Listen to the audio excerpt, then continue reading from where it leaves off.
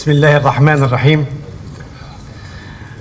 أصحاب المعالي والسادة رؤساء مجالس الدولة والمحاكم الإدارية العليا في الدول العربية. أصحاب السعادة رؤساء وأعضاء الوفود المشاركة. السيدات والسادة الحضور السلام عليكم ورحمة الله وبركاته. يشرفني أن أرحب بكم على أرض مصر الخالدة. مصر السلام والمحبة. مصر الإخاء والتسامح. مصر الرخاء والنماء. مصر الأمن والأمان. ويسعدني أن أنقل إليكم تحيات شعب مصر الذي يعيش مرحلة جديدة بعد ثورتين شعبيتين أفرزتا مرحلة تاريخية فارقة. يواجه فيها تحديات إقليمية وعالمية كبيرة متطلعا إلى بناء المستقبل المشرق متمنيا من الله عز وجل أن يكلل جهودكم بكل نجاح في سبيل تحقيق الوحدة المنشودة بين الدول العربية في أحد أهم ميادينها ألا وهو العدل. الذي هو صنو الحق وغايته ومراده. ولا سيما في تلك الظروف الدقيقة التي يمر بها وطننا العربي والتي تتطلب المزيد من تضافر الجهود المخلصة وتعميق أواصر التعاون بين الدول العربية. وأنتهز هذه الفرصة لكي أتوجه بالشكر لكافة الدول العربية التي ساعدت وما زالت تساعد جمهورية مصر العربية في التصدي لمحاولات زعزعة الأمن والاستقرار بالمنطقة العربية. وإنه لمن دواعي سروري وسرور جميع المصريين اللقاء بكم اليوم للمشاركة مع هذه النخبة العظيمة والصفوة المختارة والمنتقاة. من رجال القضاء في عالمنا العربي في وضع التصور الأمثل للنظام الأساسي لاتحاد مجالس الدولة والمحاكم الإدارية في الدول العربية توطئة للمصادقة عليه.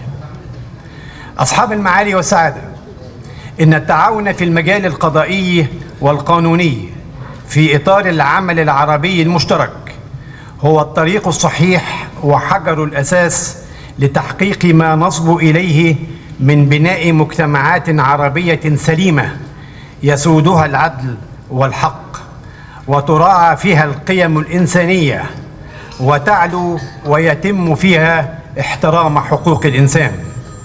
ولن يتحقق ذلك إلا بتوحيد وتضافر الجهود القضائية العربية في هذا المجال الحيوي بما من شأنه أن يعود بالنفع والفائدة على المنطقة العربية بأسرها.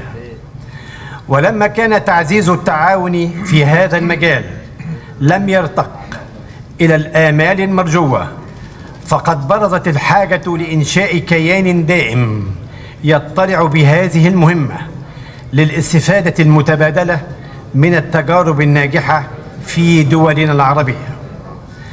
ومن هنا جاءت دعوة مجلس الدولة المصري في المؤتمر الرابع لرؤساء المحاكم الإدارية في الدول العربية الذي عقد بمدينة بيروت خلال الفترة من الأول إلى الثالث من سبتمبر سنة 2014 وبحضور رؤساء وأعضاء المحاكم العليا في الدول العربية لإنشاء اتحاد مجالس الدولة والمحاكم الإدارية في الدول العربية.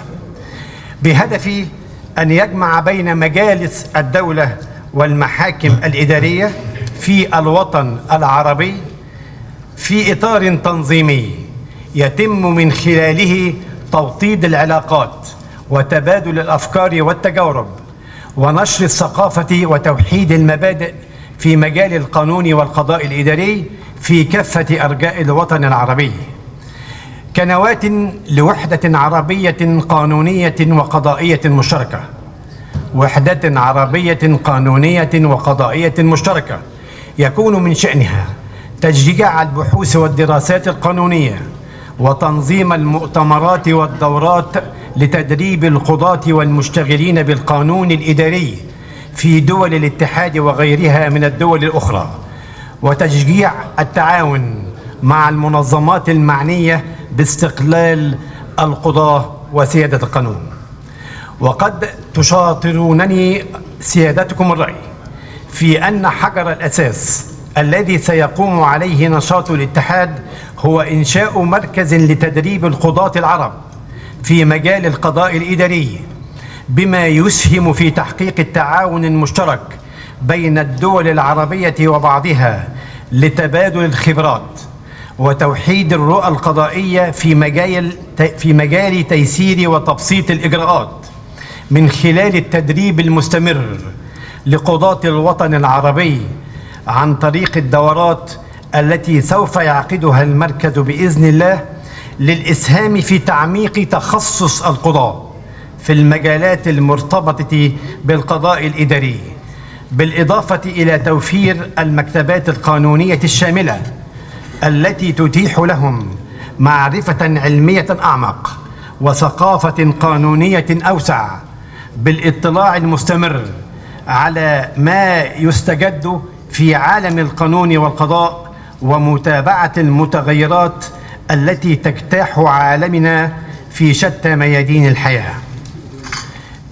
إن المبادرة التي تقدمنا بها لتأسيس اتحاد مجالس الدولة والمحاكم الإدارية في الدول العربية والذي نجتمع اليوم للنظر في إقرار مشروع نظامه الأساسي هي مبادرة تقدم لها الدولة المصرية كل دعم وتأييد تنفيذا لتوجيهات السيد الرئيس عبد الفتاح السيسي رئيس جمهورية مصر العربية بدعم جهود العمل العربي المشترك كنواة لوحدة عربية شاملة وإن مجلس الدولة المصري على أتم استعداد لأن يضع كافة خبراته القضائية تحت تصرف الأشقاء العرب.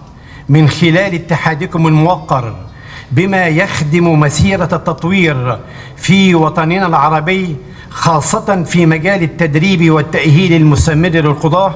وكلنا أمل أن يكتب لهذا الاتحاد النجاح والتوفيق في رسالته إن شاء الله. وأن تتسع دائرة عضويته في المستقبل القريب لتشمل جميع الدول العربية. أصحاب المعالي والسعادة ضيوف مصر الكرام. في ختام حديثي أتوجه إليكم بخالص الشكر والتقدير على مشاركتكم اليوم في هذا الاجتماع الهام وفقنا الله وإياكم وسدد على طريق الحق خطانا وخطاكم. والسلام عليكم ورحمة الله وبركاته.